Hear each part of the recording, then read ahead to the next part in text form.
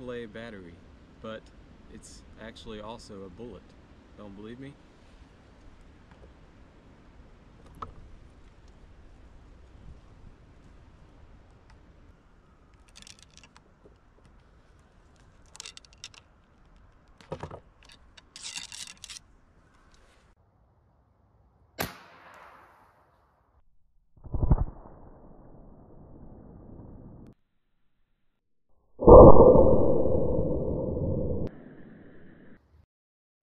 These AAA batteries measure 10 millimeters, so I 3D printed a 2.5 millimeter sabot to be able to shoot these out of 50 cal. The lighter batteries weigh 118 grains, and the heavier batteries weigh 193 grains.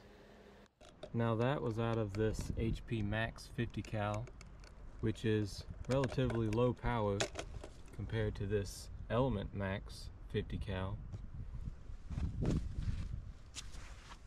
I've got one loaded up in here and we're going to shoot it at a one gallon jug.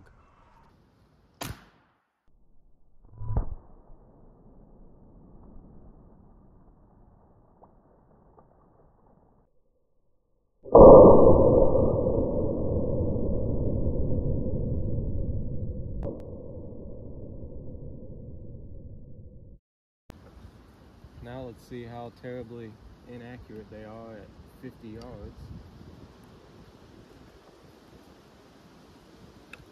Gotta load these like a muzzle loader. Very windy too, so I'm sure that won't help.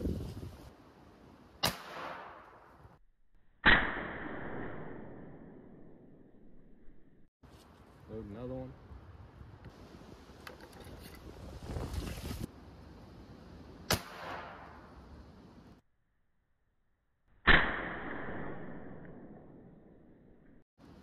no idea where that.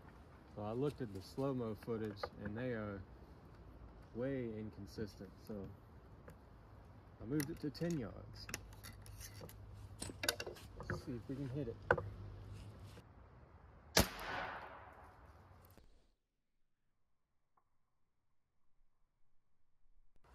Hit it.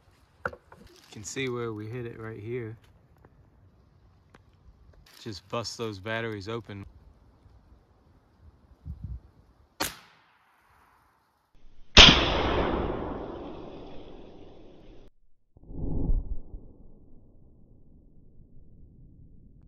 Similar to what the AA did in my other video, but looks like something penetrated a lot farther. Something came out the bottom too.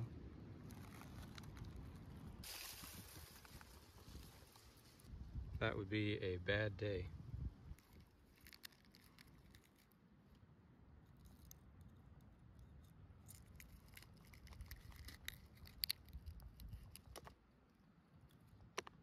From this to that.